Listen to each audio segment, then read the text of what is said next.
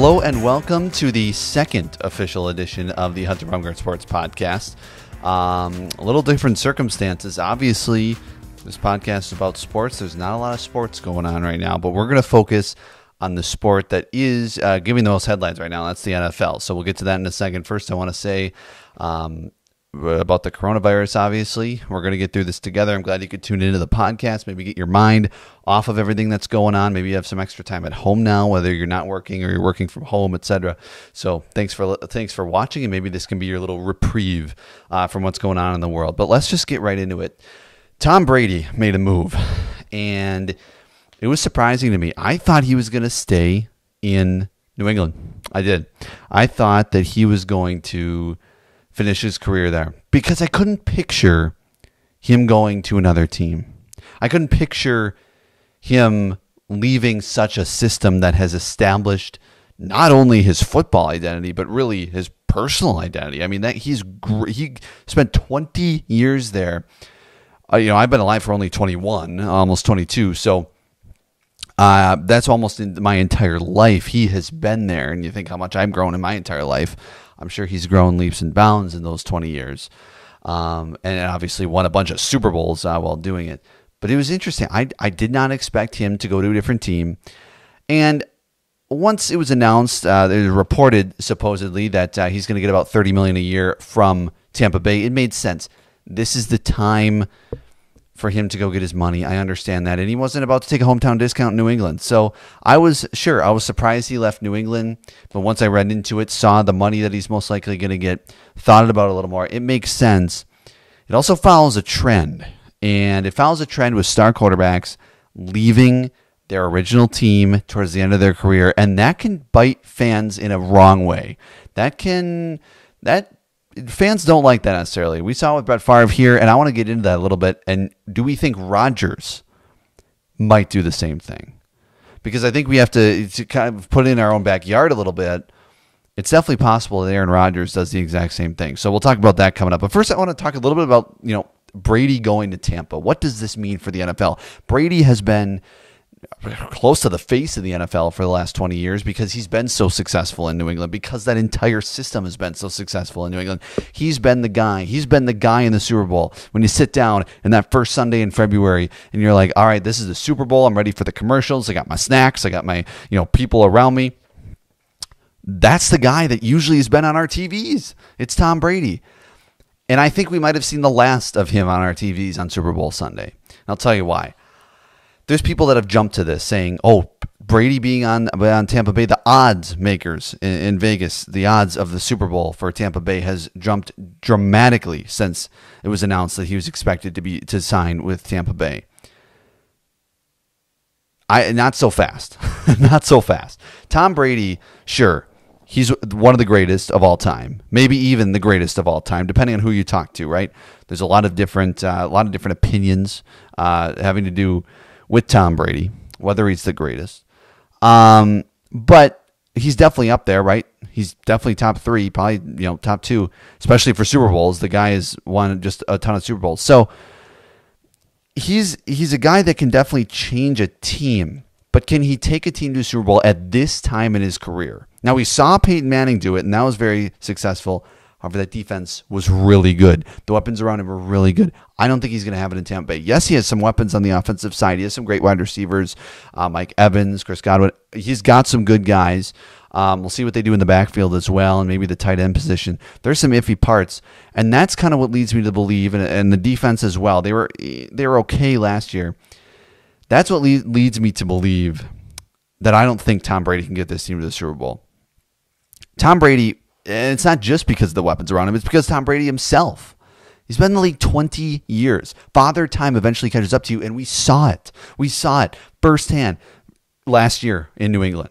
We saw it in that game against Tennessee. He wasn't the same. And if he can't do it in the Belichick system, if he can't do it in the system that he's been in for 20 years, that's how it ended last year, a home loss to the sixth seed in the AFC in the AFC playoffs. If he can't do it then, how in the world is he going to do it in Tampa Bay? Right? Think about that. I mean, it's just no way. He was he had his lowest yards per game since 2010 last year. He had the worst touchdown percentage of his career. Touchdown percentage meaning percentage of passes that he threw for a touchdown compared to his attempts. Worst touchdown percentage of his career last year. But they still had a decent season. They still won the division because he knew the system, because he was comfortable in the system, because Belichick put the guys around him that he knew made Brady successful. They didn't have one of their best teams last year. Their defense was very good, but their offense teetered at many points of the season. We saw him get blown out by the Baltimore Ravens. And I think if they would have played the Ravens, I, I think they would have had the same result. But they were able to get uh, uh, um, a championship, uh, an AFC East championship, and able to win double digit games because of the system, because Tom Brady knew what he was doing. Now, Tom Brady definitely helped. I mean, he's definitely, you know, just because he had the lowest yards per game since 2010 doesn't mean he had the lowest in the NFL by any stretch. He was about average. He had about an average year last year. But he brings an average year to, t- to Tampa, and an average year for Brady is better than most years. I understand that. But you bring that to Tampa in a situation that's very unfamiliar for Tom Brady, um, a brand new coach for the first time in his NFL career. It's it's very it's it's very it's unexpected. It's in the in the, in the I just don't think you can expect him to go out and win a Super Bowl at Tampa Bay.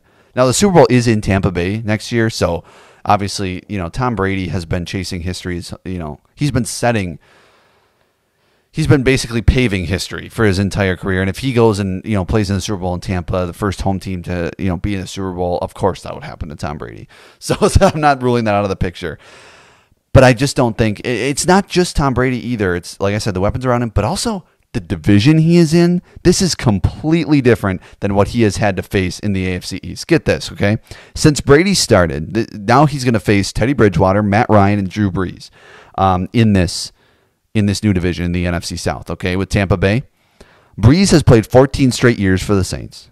Matt Ryan has played 12 straight years for the Falcons, and of course Bridgewater is joining a new team of the Panthers, but he's been around for a couple of years, a few years, I should say the competition that he had to face in the AFC East when it came to quarterbacks, awful. All three, the Jets, Dolphins, and Jets, or Jets, Dolphins, and Bills, all three of those teams never had a starter go more than four years during the 20 years that Brady was there. Okay? The Bills' longest starter went four years. It was Ryan Fitzpatrick. The Dolphins' longest starter for four years was the first four years of Brady's career with Jay Fiedler from 2000 to 2003. Raise your hand if you remember him. The Jets' longest starter during Brady's whole career in New England, four years, Mark Sanchez, 2009 to 2012. In that time, Ryan Fitzpatrick played for all three and started for all three of the AFC East teams. Chad Pennington played for two of the AFC East teams and started for two of the AFC East teams, the Bill or the uh, the uh, Dolphins and the Jets the competition is going to go way up. And Brees, he's not the Brees necessarily was say three years ago, but he's still a good quarterback. I I would say maybe just as good as Tom Brady is right now, and maybe even better now because he's been in that system with Sean Payton for so long. Also, condolences to Sean Payton diagnosed with the coronavirus. Um, so Brady's never seen this type of quarterback consistency in a division, and that helps. It it can't not. Tom Brady's a great example of it. There are many examples of QBs. Even Aaron Rodgers is a good example of it. You have consistency in your system and it works. Of course, towards the end of the consistency with Mike McCarthy, it didn't work. But if you have a coach, if you have a system that consistently works, like Brees has had, um, and Matt Ryan being in the same city, he's had some coaches, but most most recently he's had the same coach for a long time. It's I think this is going to be uncharted territory for Tom Brady, and I just do not see Tampa Bay coming out of that division a winner. I think they make it a little competitive, but look, they play. They're going to play those three teams six out of sixteen games. That's almost half the team. Well, now there might be seventeen, but that's almost half of the games are going to be played against these quarterbacks who have been in the league a fair amount of time. And Teddy Bridgewater, of course, in a new situation, but he showed what he could do with the Saints last year. So I'm sure he could do a do a a, a pretty good job with the Panthers. So it's going to be a dogfight in that division, nothing like Brady has ever seen, and I truly believe that because he he's had some competition. The Bills occasionally, the Jets had Brett Favre for a year. Brett, you know, the Jets have had a couple of good seasons with Mark San- Mark Sanchez. The Dolphins have never really competed greatly. Um, so this is going to be something completely different for Tom Brady. So I'm saying pump the brakes. I'm thinking that Tampa Bay is going to go to the Super Bowl now just because Tom Brady joined them because I don't think so. I think if he goes to somebody like the Chargers, maybe. Okay, Chargers maybe. Who are you know some of the other teams that they were thinking? Of course, San Francisco was floated out there. I don't think. Um, I, I, well, number one, I think he probably would have been close to the Super Bowl again, but I just don't think. I think, especially with the how the NFC is right now, the Packers and Vikings had really good years last year. Um, you're the East had a down year, but Dallas is going to be good. They they're keeping Prescott, they're keeping Amari Cooper with, with a new coach and Mike McCarthy. That's going to be interesting to watch. So I don't think we can say that Tom Brady's just going to go to Tampa Bay and win the Super Bowl or even get to the Super Bowl with them. I do not see it happening. Um, but again, it's Tom Brady, so we'll see. But what Tom Brady is is one of the greatest quarterbacks of all time. And many quarterbacks, including Peyton Manning, including Brett Favre, including uh, Montana, including, you know, the list is starting to really go on and on when it comes to the greatest quarterbacks of all time leaving their longest tenured teams at the end of their career. Course, Brett Favre didn't get drafted by the Packers, but he was with the Falcons. He got drafted by the Falcons, but then was with the Packers for a long, longest part of his career expected him to retire a Packer. That didn't happen. We all know the angst we felt as Packer fans when Brett Favre left. It was just weird. It was weird to see him in a Jets uniform. It was weird to see him in a Vikings uniform. And I think it's going to be the same kind of thing if Aaron Rodgers does this. So my plea to Aaron Rodgers, of course, if you're watching this, Aaron Rodgers, which I know you're not, but if if Aaron just stay, be different. And and Aaron Rodgers has been different. He's obviously one of the greatest of all time. He's been different throughout his career. He was not projected to go where he was in the draft. He's had this chip on his shoulder for his whole career, um, and he's talked about that. But just be different. Don't be like the other greatest quarterbacks. To leave the fans that have been loyal to you, the city that's been loyal to you, and you've brought so much joy to the town and to the city and to the fan base that to leave at the end, it's just like, oh, it's just a letdown. Sure, you can come back and sign a day contract and retire as a Packer. Sure, Brady could sign a one day contract with New England, but it's not the same. It's not the same as giving getting a treatment at Lambeau Field for your what you know is going to be your last game or might be your last game. We saw what happened with Eli Manning right? That's the kind of closure that fans want. Eli Manning is a rare example of one of uh, uh, depends on where you rank him, but obviously one of the best QBs that that the game has seen staying with a team for his whole career and giving fans that closure. Tom Brady won't do that. Peyton Manning didn't do that. Brett Favre didn't do that. Aaron Rodgers, do that, please. Not that he necessarily owes the fans that, or not that the fans necessarily expect that, but it would be super nice because it would be it would, it would put like I said, it'd be closure on, on a fantastic career, one of the best careers in Packers history. Now, could I see Aaron Rodgers going to a different team? Of course. Of, of all the quarterback, if you would have named, if you would have said Manning, Brady, uh, or Favre, and you would have put those three in front of me, and you said, and with Rodgers, and you would have said, okay, out of those four, who do you think is most likely to finish their career with a different team? I think I would have said Aaron Rodgers, just because of how he acts. His kind of keep everything close to the vest, doesn't share a lot in the offseason. We've heard that maybe he isn't the greatest team player. Um, you know, a lot of fans get on him for being a lot of me, me, me, I, I, I, not a lot about the team a lot of fans, to be honest, they don't adore Brett Favre the way they adored Aaron Rodgers. Aaron Rodgers has brought a lot of joy to this fan base because of what we've been able to see him do, and I have felt super lucky to watch him growing up. But he's not as adored as Brett Favre was um, in Green Bay, and so would it be not as heartbreaking to fans? Maybe, but could I see it a lot more than Manning or Brady or Favre? Yeah, I just could, just with his personality. It has nothing really to do with his play on the field just simply that his personality seems like a guy who'd be like, you know what, I'm, I'm going to go play for the Colts for a couple years. You know, I'm going to go play for the Panthers for a couple years. It just seems that way. Now, what Brett Favre did and go to the Minnesota Vikings, ah, man, I don't know if I could see Aaron Rodgers doing that. partly maybe because the broken collarbone, the uh, broken collarbone incident. Um, but I think he goes like like Tom Brady, and I think Tom Brady did this a little bit out of respect. Just go to a completely different league, um, and kind of start anew. And I think that might be what Aaron Rodgers does. But like I said, I, I kind of expected at this point. Now he's going to be older when you know he's going to be around that Tom Brady age when that contract is up. But man, I and he stated you know that obviously he loves it in Green Bay and he signed multiple contracts here. But man, I, I could see this happening, and it just I, like I said, I'm just pleading, just be different.